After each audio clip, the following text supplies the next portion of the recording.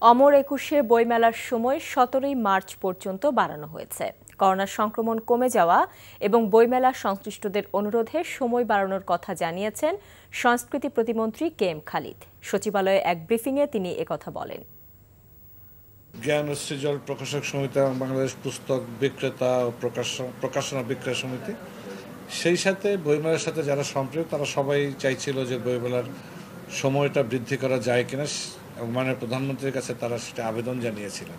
আজকের সুসংবাদ হলো, মাননীয় প্রধানমন্ত্রী আজকে সকালে অনুমোদন দিয়েছেন, বইমেলা সতেরোই মার্চ পর্যন্ত বৃদ্ধি করা হয়েছে এবং সতেরোই মার্চে বইমেলা শেষ হবে।